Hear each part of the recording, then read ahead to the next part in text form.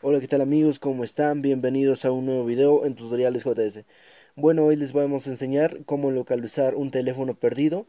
En este caso, Samsung ha lanzado una página pues para que tú puedas ver y ubicar tu teléfono siempre y cuando lo pierdas, ¿no?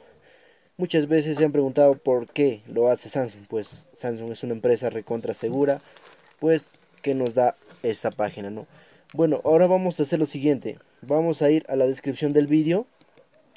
Vamos a ingresar a la siguiente página. Vamos a esperar a que cargue. Y bueno, redirigirá para acá, ¿no? Entonces, una vez que ustedes estén acá en este contorno, van a ir acá a este botón de ese, hace de color negro. Van a hacer clip.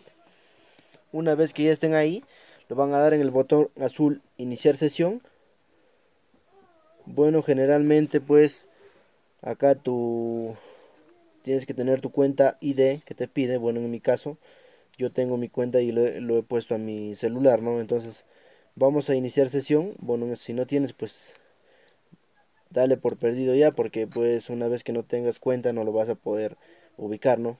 Bueno, vas a dar clic en iniciar sesión, vas a esperar a que cargue.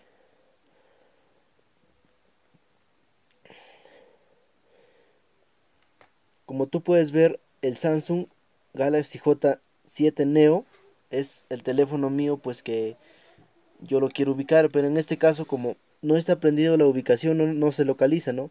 Pero cuando usted prenda la ubicación de su teléfono, pues le va a mostrar, ¿no? En dónde está ubicado, ¿no? Por eso siempre es interesante o siempre es útil prender la ubicación para que, pues cuando lo perdamos, pues utilizamos la tecnología, ¿no?